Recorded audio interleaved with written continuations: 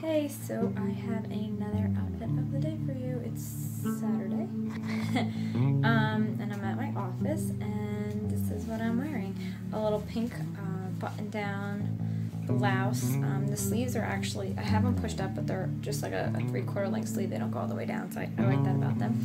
Um, I have on these really washed-out denim that's cuffed up. Um, these are Copenhagen brand um, called ODNY jeans. They fit really nice. They're actually a skinny jean, but I, I did cuff them up.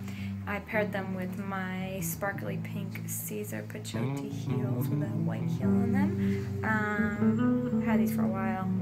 A little buckle on the front. These actually were my favorite when I first bought them. Like, they made me so happy. I ran home and was like so excited to wear these shoes. Um, now I've had them for a little while, so obviously, whatever.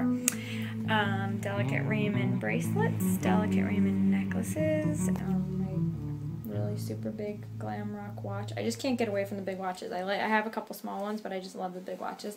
Um, and I know somebody asked what my bag is. I actually haven't changed. I wanted to change my bag, but I haven't, and so I'm still using my Valentino rocker stud one. Sort of summery, so I don't know.